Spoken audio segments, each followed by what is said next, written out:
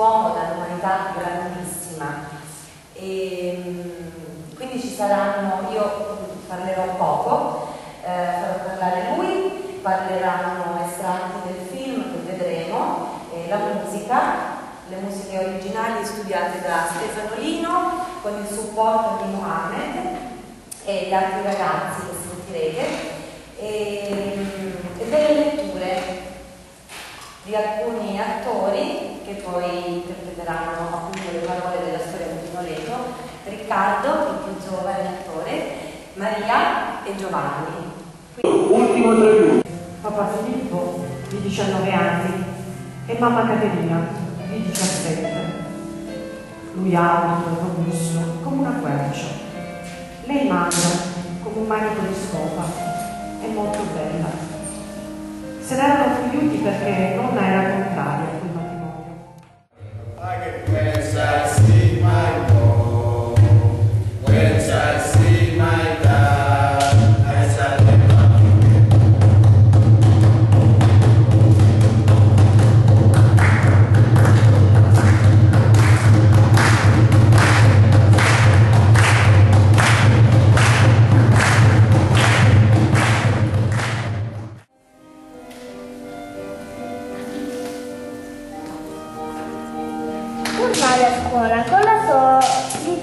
sottile emozione. Chissà che compagni troverò. Sapevo che non avrei più visto, visto Giovanni, perché con la sua famiglia avevo cambiato quartiere. E visto che ero ripetente, trovai tutta gente sconosciuta. Certo, un bel impatto, anche perché ero stato segnalato alla maestra come suo male assente abituale. Con me non si scherza.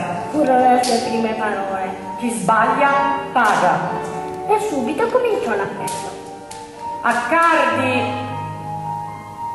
Buzzetti, Di Fresco, Festosi, Guagliardo, Leto Aurelio. Nel sentire il mio cognome mi alzai di scatto. Presente? La maestra mi guardò in cagnesco e con tono minaccioso mi disse. Cominci bene. Me l'avevano detto che sei un indisciplinato, ma con me avrai pane per i tuoi denti.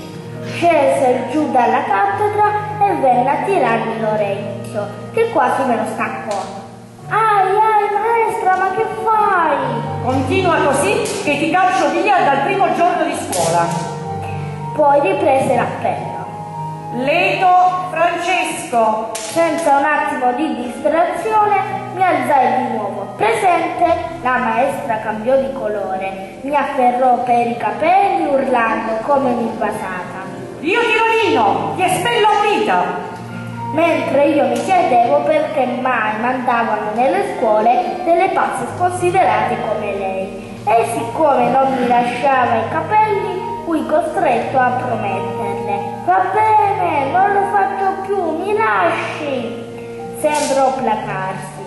Tornata alla scrivania proseguì. Leto Giuseppe, Leto Giuseppe, Io mi chiedevo, che faccio, mi alzo o no? E lei ancora. Leto Giuseppe. Ah, insisti, vuoi la guerra, ma io Tirolino ti caccio per sempre dalla scuola. E afferrata alla bacchetta si scagliò contro di me. Ma veramente pazza è! Se mi alzo le urla della maestra, anch'essa raggiunta dai miei pugni. Un attimo e fu immobilizzata. fermato. Arrivò pure il direttore che mi incalzò. Sei tu, Reto. Ne ero sicuro. Solo tu potevi combinare questo finimondo. La maestra non lo fece proseguire. Devo stendere la relazione per il provveditorato. C'è una soluzione. L'espulsione da tutte le scuole. Il direttore mi guardò afflitto. Hai visto? Ti sei rovinato con le tue mani. Ma perché? Che ho fatto? Allora io devo dire una cosa subito, che ehm, appena mi è stato chiesto di fare questa cosa, di presentare il tuo libro, non sapevo chi fossi detto perché un pugile scrive un libro, a un certo punto decide di scrivere un libro. Poi ho comprato il libro, l'ho ordinato, mi è arrivato e ho letto questa cosa. Le parole sono tutte uguali, tutte perfette, tutte morte. Le storie sono tutte diverse, tutte imperfette, tutte vive. Una di queste storie è quella di Pino Leto. E stamattina ti ho sentito a scuola con i ragazzi. Non le ho preparate queste cose, avevo preparato altre domande, però averti visto stamattina con i ragazzi eh, è stata una rivelazione per me.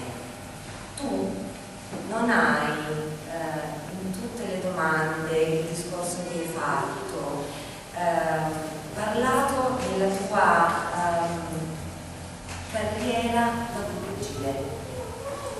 Tu hai guardato i ragazzi negli occhi, ti sei riempito della loro energia, della loro giovinezza e hai parlato a loro, hai parlato a loro di dignità, hai parlato a loro di rispetto, gli hai detto eh, siate l'orgoglio dei vostri genitori, eh, date valore a quello che fate, credeteci.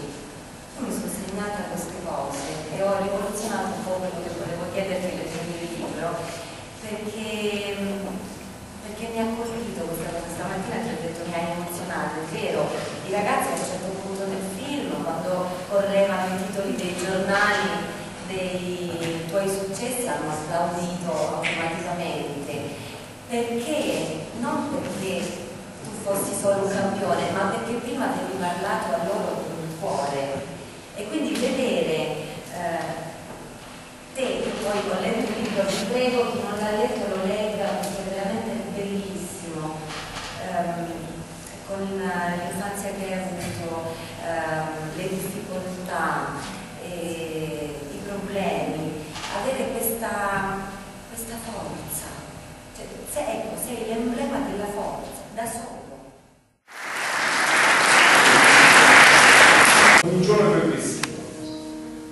Tutti i buoni propositi coltivati durante il periodo di lavoro con scritto sei santi mi cercavano addirittura dalla Cassa o dalla Marina per fare appunti e per delimere certe controversie del quartiere.